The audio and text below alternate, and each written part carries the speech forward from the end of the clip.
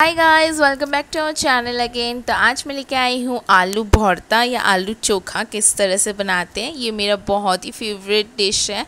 तो मैंने यहाँ पे पैन में ऑयल ले लिया है, मैंने ड्राई चिलीज़ ले लिया है, इसको मैं फ्राई कर लूँगी ड्राई चिलीज़ को, ठीक है? फिर मैं यहाँ पे ऑयल में, जैसा कि आप लोग देख रहे हो, करीबन इसको मूव करते रहना है, ताकि वो जल ना जाए, ठीक है? और फिर यहाँ पे मैंने ऑनियन एक ऑनियन मैंने काटा था, ऐसे स्लाइस करके तो मैंने ऑनियन डाल दिया, उसके ऊपर मैंने थोड़ा नमक छिड़क दिया है।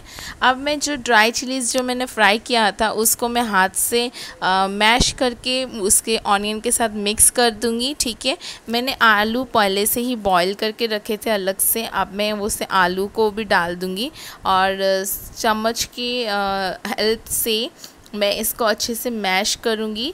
तो मैश करते ही रहना है आपको, ठीक है? अच्छे से जैसे मैश हो जाए, इस तरह से आपको करना है।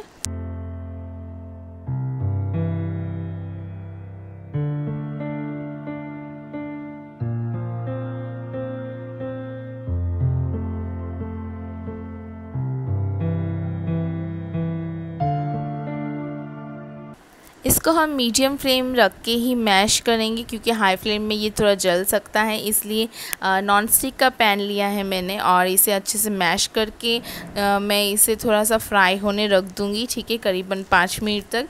ये रेसिपी बहुत ही टेस्टी और बहुत ही यमी लगता है। इसमें मैंने मस्टर्ड ऑयल का यूज़ किया है सरसों का तेल ठीक है और इसे गरम गरम दाल भात के साथ खाने में बहुत ही मज़ा आता है। ये मेरा पर्सनली बहुत ही फेवरेट है।